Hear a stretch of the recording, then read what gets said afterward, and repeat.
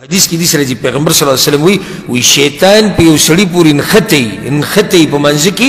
تر دې چې دې په هم نشي چې سور کته مونږ کړي دا د شیطان کوشش دي په اودس کې په بل عبادت کې ځکه زه د ملګرو ته ټول ته زړه نه نصیحت کو په منځ کې وسوسه په اودس کې وسوسه په هر عبادت کې وسوسه د دین ځان لري ساتي دا ګور انسان لیونه کوي ما سره په خپل یو کس ملو شو ما ته وی علاج وخایه ما ته وسوسو وی کله نه کله زه او دس چاردم پنځیش یا دېرش پیرې کوم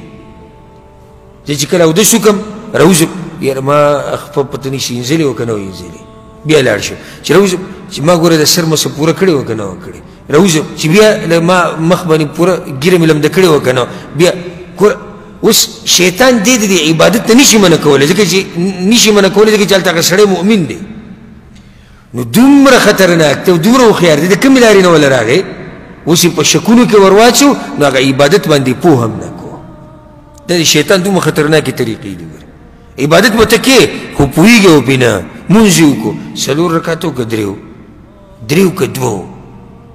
ښه په منځي کې سوره فاتحه ما ویلې ده که نه ده ویلې ما اوس سمع الله لمن حمیده ووایي که ونه وي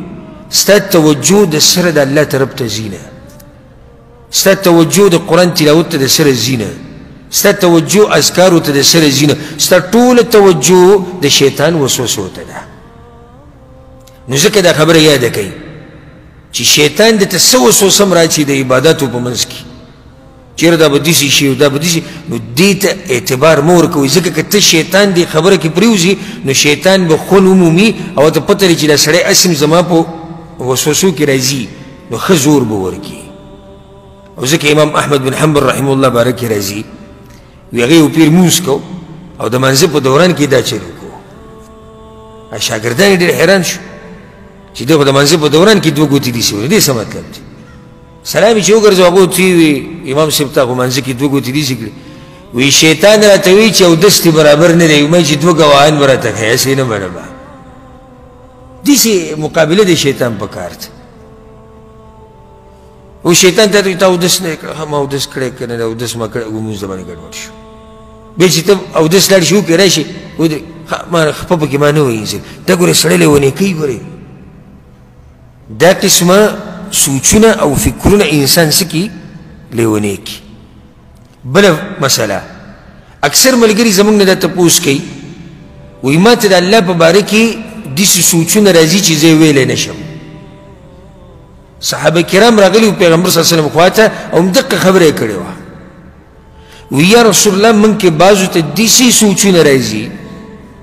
چې مونږ یې په خوله نه شو ویلی پیغمبر صلی الله علیه وسلم وتی د ایمان نه ده د ایمان نه معنی ده چې د د سوچونه شیطان هغه چته وروچی چې هغه دیندار مؤمنی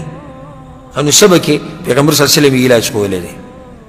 وی چې کله پتا شو کې چاته د سې سوچونه راځي نو دې دې د سوچونه بند کې اولنې کار بدو کې د سوچ او وسوسه بس کې دا به بند کې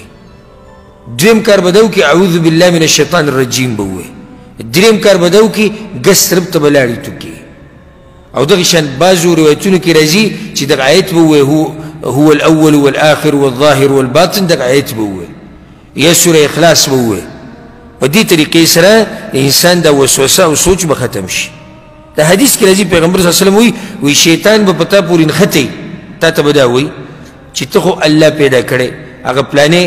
الله پیدا کړې دی هغه پلانې الله چې هغه پیدا کړې دی هغه الله چې هغه پیدا کړې خو دا الله چا پیدا کړې حدیث کې راځي پیغمبر صلی الله علیه وسلم شیطان به تاسو سره داسې دغه راځي نو چې دغه ځي ته ورسېدی نو خپل سوچ بند کړي او الحمدلله دا د خوشحالۍ خبره ده الله په دې قسمه وسوسو او سوچونو باندې موږ نه رانیسي